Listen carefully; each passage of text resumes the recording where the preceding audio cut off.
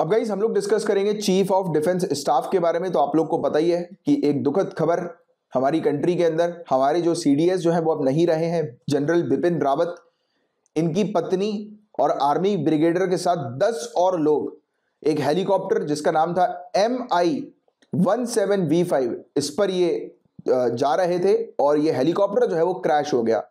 तमिलनाडु में जो नीलगिरी वाला एरिया है वेस्टर्न घाट का जो हम लोग को देखने को मिलता है राइट वहीं पर ही कुनूर घाट है, कुनूर घाट राइट तो वहीं उसी के पास ही जो है ये हेलीकॉप्टर क्रैश हो गया, जिसमें हमारे चीफ ऑफ़ डिफेंस स्टाफ हमारे सीडीएस जनरल बिपिन रावत जी, वो नहीं रहे राइट तो ये चीज़ तो आप सभी लोग को जो है वो पता है but examination point of view से सीडीएस के बारे में आपसे क्वेश्चन पूछे जा सकते हैं, इस पोस्ट से रिलेटेड आपसे क्वेश्चन पूछे जा सकते हैं एंड कुरनूर घाट भी थोड़ा सा ध्यान में रखो। ज्योग्राफी पॉइंट ऑफ़ व्यू से कुरनूर घाट कहाँ पर है, ये चीज़ आपसे पूछी जा सकती है। तो नीलगिरीज आप थोड़ा सा ध्यान में रखिएगा, वेस्टर्न तमिलनाडु वाला एरिया राइट तो अभी जाँच जो है वो चल रही है, हेलीकॉप्टर क्रैश से रिलेटेड।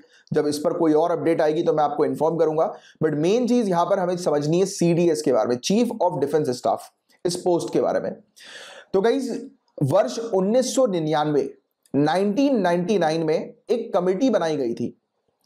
कारगिल समीक्षा कमेटी, कारगिल रिव्यू कमेटी इसने सुझाव दिया था, इस कमेटी ने सजेस्ट किया था चीफ ऑफ़ डिफेंस स्टाफ की पोस्ट को कि एक ऐसा सिंगल पॉइंट होना चाहिए मिलिट्री एडवाइजर का, जो कि जो तीनों सर्विसेज़ है हमारी, कौन सी कौन सी तीनों services Indian army Indian navy Indian air force but आपसे अगर आर्म्ड फोर्सेस की बात की जाए, अक्सर लोग क्या गलती करते हैं, जब उनसे पूछा जाता है आर्म्ड फोर्सेस के बारे में कि हमारी कंट्री की आर्म्ड फोर्सेस कौन सी है तो तीन का तो नाम ये बता देते हैं। बट इंडियन कोस्ट गार्ड को भूल जाते हैं। तो आप ध्यान रखिएगा सभी लोग कि हमारी जो आर्म्ड फोर्सेज है वो तीन नहीं है वो चार है right Indian army Indian navy Indian air force और इंडियन कोस्ट गार्ड।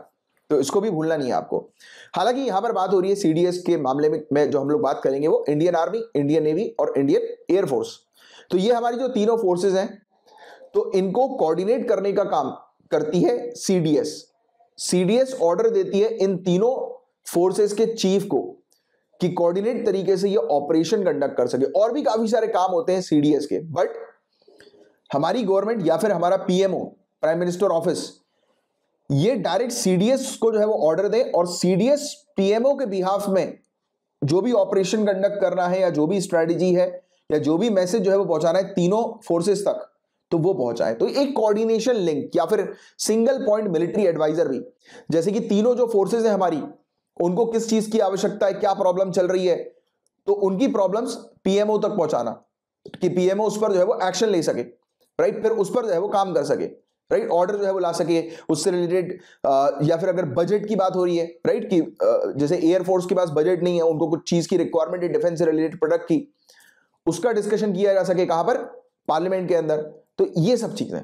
इस पर काम करती है सीडीएस तो आप सिंपल तरीके से ये समझो सीडीएस का काम क्या है? एक लिंक क्रिएट करके रखना पीएमओ के बीच में या फिर गवर्नमेंट के बीच में, और जो तीनों हमारी जो फोर्सेस हैं, उनके बीच में। तो ये चीज़ है सीडीएस का काम मेन काम। और सीडीएस एक फोर स्टार जनरल हम लोग को देखने को मिलते हैं, और permanent chairman chief of staff committee के भी है ये। Right chief of staff committee जिसमें तीनों सर्विसेज़ के चीफ के मेंबर्स होते हैं, उसके भी हेड सीडीएस हम लोग को देखने को मिलता है। इनके कोर फ़ंक्शंस की बात करें तो भारतीय सेना के तीनों सशस्त्र बलों के मध्य अधिक से अधिक तालमेल को बढ़ावा देना और अंतर सेवा संघर्ष को न्यूनतम करना।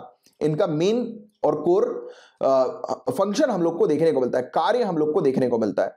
और जितने भी खरीदारी से रिलेटेड या फिर प्रोक्योरमेंट से रिलेटेड या प्लानिंग से रिलेटेड जो भी डिसीज़न होते हैं तीनों फोर्सेस के, वो पहुँचाए जाते हैं सीडीएस तक और सीडीएस भी उन डिसीज़न में अपना रोल प्ले करते हैं राइट कि इंप्रूवमेंट कि किस प्रकार से हम इंप्रूव करें, या फिर अगर तीनों फोर्सेस मिलकर कोई ऑपरेशन करना चाह रहे हैं थिएटर कमांड जिसको हम लोग बोलते हैं, उसका नेतृत्व भी सीडीएस करते हैं। तो ये पॉइंट भी आपको थोड़ा सा ध्यान में रखना। सीडीएस एक थिएटर कमांड बनाकर तीनों फोर्सेस को एक जगह पर तैनात करके आप कह सकते हैं कि जो मल्टी फोर्स ऑपरेशन है वो कंडक्ट किया जाता है राइट और इवन ऑनरेबल प्राइम मिनिस्टर के नेतृत्व में जो परमाणु कमान प्राधिकरण है न्यूक्लियर कमांड अथॉरिटी है तो उसके भी ये मिलिट्री एडवाइजर होते हैं सीडीएस और साथ ही साथ अंतरिक्ष और साइबर स्पेस जैसे नए युद्ध क्षेत्रों को संभालने के लिए त्रिसेवा संगठनों की कमान का नेतृत्व भी करते हैं।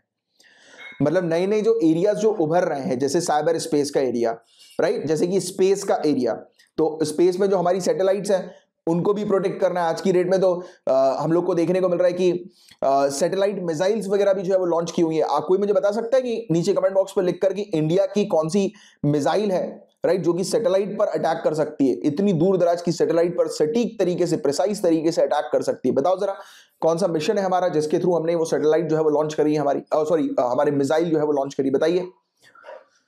मिशन शक्ति याद आ गया होगा आपको। चलिए तो ये चीज़ हमें देखने को मिल रही है कि जो नए नए एरियाज़ हैं उस पर भी सीडीएस जो है वो मतलब उसका भी नेतृत्व करते हैं राइट जैसे कि साइबर स्पेस हो गया राइट अंतरिक्ष हो गया तो ऐसे जो एरियाज़ हैं इस पर सिक्योरिटी परस्पेक्टिव से जब भी, भी कोई डिसीज़न लिया जाता है तो उसमें एक सीडीएस का भी एक बहुत इंपॉर्टेंट रोल होता है।